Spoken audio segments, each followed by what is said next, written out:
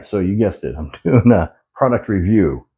So Creality was kind enough to send me a resin 3D printer, uh, Halot Mage, I believe, uh, 8K. So as you see, she is packed nicely. Uh, it's got this nice little flip top liddy here, so you don't have to figure out what to do with that. Uh, so in here is an extra film and a calibration sheet.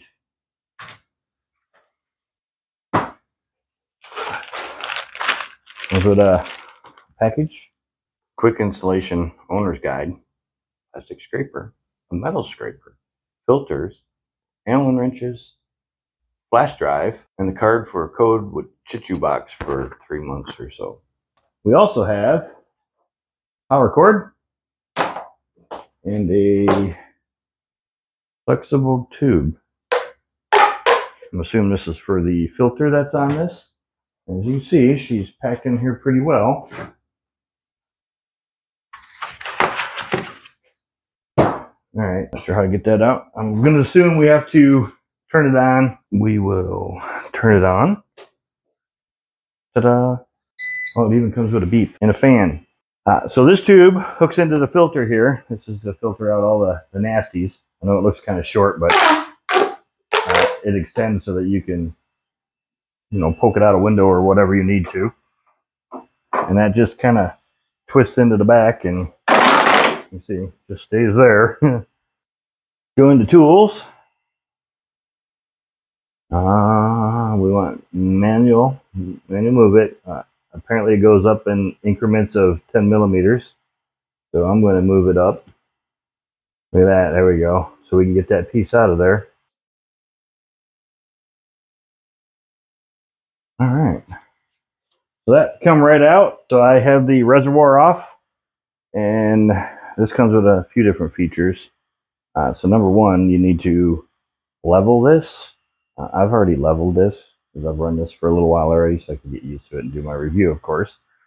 Um, but I'm going to show you as soon as we get it down here what what is expected of that. So this is our calibration card. Like I said, it was in the package with the extra film. Can't remember what that film is called. Okay, so uh, as you can see, it went all the way down and we're not moving yeah, maybe a little bit. It's not real bad. It's got pressure on everything except for maybe this corner right here.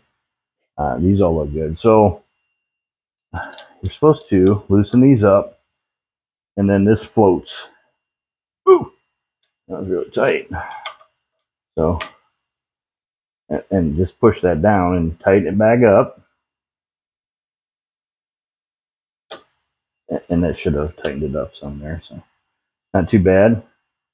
So you want resistance you don't want it to just slide out as you can see it's got pretty good resistance. So we got a couple different features for our screen. So we have an exposure time 15 seconds it'll it'll show you um, an outline of see what it does there so that's just 15 second exposure time if we had resin in there it'd obviously uh, cure me a square piece of resin. And then it also has a clean feature so that when you have your vat in here and you have resin in it, you get particles and pieces of cured resin that are just kind of floating around.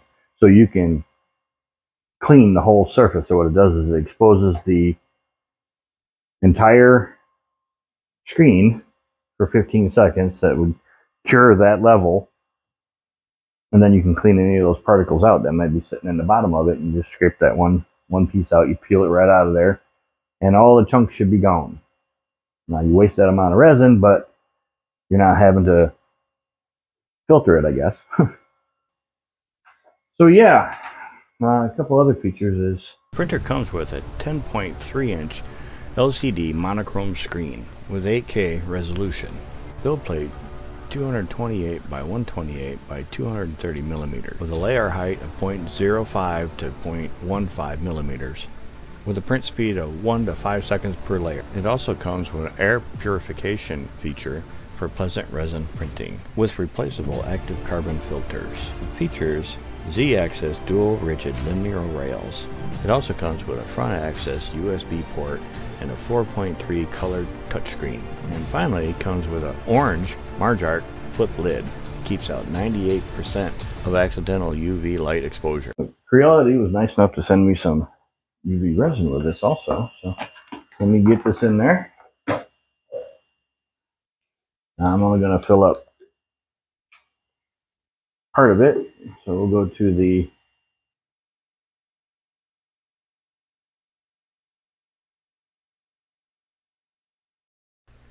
So the printer also comes with a slicing program. This one is HalotBox. Uh, it also comes with Chitubox um, as a free trial, but here I am using HalotBox. So right now I'm trying to pick the size and decide what size I want to make this project as opposed to, oops that's a little too big. Let's bring it back down here a little bit. So this isn't too bad. I just shrink it down a little bit 50 millimeters I believe. And yeah there we go. That's better. So this program has a hollow feature. So you, this is it here. So this way you don't waste all that resin.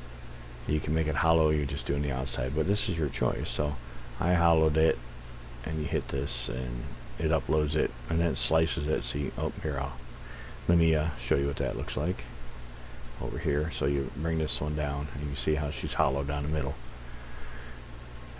it's pretty cool. And then this way you don't waste so much resin making that solid you didn't need it in there anyways. So now I want to pick angle 45 degrees here for better better prints with your supports. So and that's what I'm doing here. And now let's add supports. Come on. Everything in pink is where you want supports. And so we can manually do it or you can have it do it all at once. And it'll load it right here. And there we go. That's what you get. So now that I've got all my supports added, uh, we now save it and upload the file so that the printer can read it. Overall, HalotBox is a pretty easy to use, user-friendly program. It comes with the machine.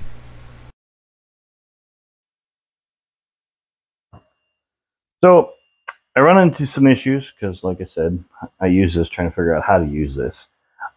I had to reformat the card, so I lost all the program. I lost the sliced uh, object that was sent with it, which was a Berserker. I really kind of wanted to print that off, but unfortunately, uh, the card that came with it had to be reformatted. It wouldn't do anything for me. So I now have a different one to do. And uh, I, now I slice this in the house, as y'all seen. So that's what we're going to do. Um, let's go with uh, that there. So see how it pops up like that? Then we'll tell it to print. And it'll probably go all the way up to the top and come all the way back down for me. which is what it's going to do.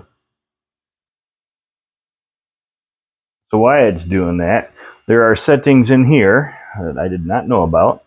So we have uh, bottom layer. So this is a bottom layer of them. Uh, I want more than three. So you can change these. I can delete that and I can put it to, you know, five or six. I'm going to go with six and go okay. And then we got a bottom exposure time. Now that's uh, 30 seconds. Now, I found that with this resin, 30 seconds is not quite enough time for it to adhere to the build plate. So we delete that, and I found 45 seconds was great for that. Now you have normal exposure time. This is for the rest of the layers. And you should probably print off a test sheet first so you can get the right the right amount of exposure time for the detail you want. So if you expose it too long, you get bad detail. If you expose it not long enough, you get bad detail. So uh, those only take, I don't know, 15 minutes or so to do, but it will get you better detail. Uh, on this one here, I believe I had uh, 2.4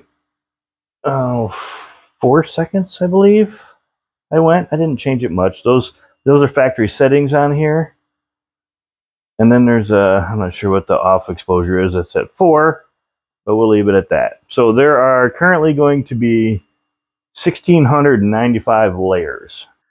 So when the build plate comes down, we're going to do this 1,600 times. It's going to take roughly, I think it was six and a half hours. It's not up yet, but I think it said six and a half hours on the slicer, something like that. All right, so it currently says five hours, 28 minutes, and we are in layer number one. So this is actually my, what do they call it? There's a platform for it. So it's going to do six layers like that at 45 seconds. That you see how that dropped. So that means it's stuck to the plate. Um, I had a lot of issues with it sticking to just the, the that. All right, as you can see, this is going to take a while. So I am going to close the lid, the UV protectant lid. This is 99%, I think it's 99% it blocks out of UV light. Um, it also blocks out 100% of flies because flies like to get in that. so I will come back to this when it's finished in, I don't know, six hours.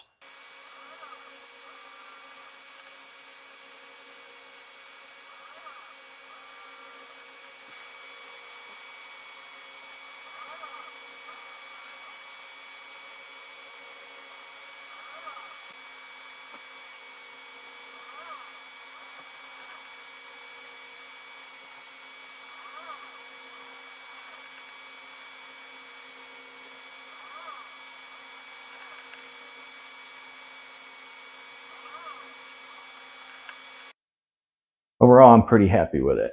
So the fact that it comes already assembled, uh, that's a plus. I didn't have to do anything. I did have to learn how to use it, just as anybody else would. Uh, a lot of research on that and settings and other things. Uh, for the most part, like I said, it's contained. Everything's ready to go right out of the box. Um, add a little bit of resin and put your program in, turn it on, and go for the most part, I'm happy with it. I, I would suggest if you're getting into it, uh, this is possibly one you'd want. I give it a thumbs up. it does have a few things I didn't care for. Uh, number one, the screen is a, a little small. So when you wear glasses like I do with progressive lenses, you kind of got to get down there low enough to look at it, you know, so you get bobblehead. So that was just an issue, and it's probably because of my glasses and that. Uh, the touchscreen on the front's fine. The the fact that I can't um, program the settings for layers and that other than right here on this screen, even though I'm, I'm able to in the programs, but it doesn't doesn't mean anything. You have to do it in here. That was kind of an issue. There's no way to override the machine. You just set it every time here. Uh, that's one of the few things that I didn't like about it. Um, I printed a few things, uh, a lot. I had a lot of failures. Those are on my my end, uh, you know, that's learning how to use the programs and putting in supports and all that. That and that was all on me. I want to thank Creality for sending this to me. Let me opportunity to have something like this in my shop. The only reason I did it was I saw a purpose for this here. Uh, I don't know when I'll be using it, but I did see a purpose. So um, I give it a thumbs up. And there'll be links in the description below. Uh, Thanks for watching.